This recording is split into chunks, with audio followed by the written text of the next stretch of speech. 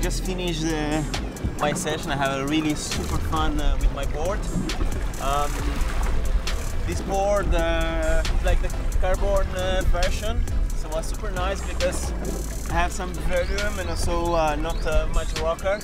So this helped me, you know, like to keep me my speed, my flow on the way. And then I can do sometimes like this with the freestyle strapless, you know, so this kind of board I can adapt in a lot different conditions. So I'm in love with this board.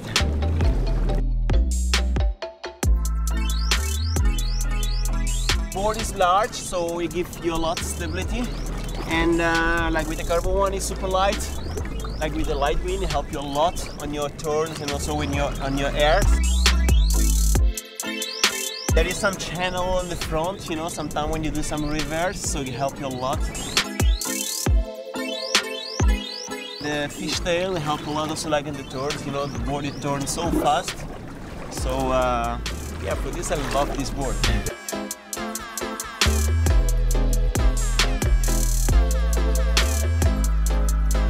Normally, like in the medium wave, small wave, I prefer to have a carbon one, also with the light wind, because it's super light. Then with the bigger wave, I prefer the fiberglass. You have some flex and more comfort on the board.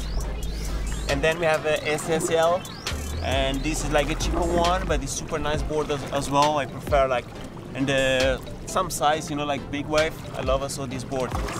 But I'm always right with the carbon one because in the competition you have a, a little bit like more performance, you know. So I prefer the, the carbon one.